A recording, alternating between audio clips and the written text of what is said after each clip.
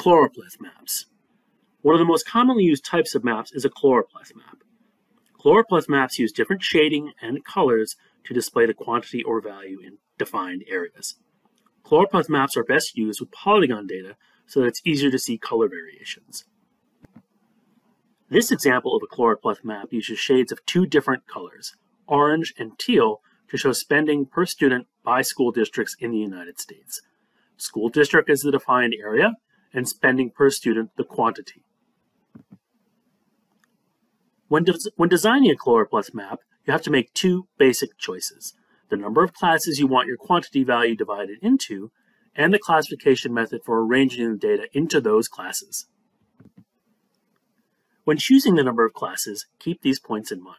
The more classes you have, the more color variations you have, and the human eye can't distinguish between large numbers of variations of the same color. Therefore, it is best to have no more than seven variations of the same color. The major types of classification method are equal intervals, quantile, natural breaks, and defined intervals. In equal interval classification, classes have equal ranges, such as ranges of 1 to 5, then 5 to 10, 10 to 15. In quantile classification, classes have equal counts, such as 5 items in each class. Natural breaks classification uses an algorithm to optimize class variation. In other words, an algorithm figures out where the best breaks between classes should be.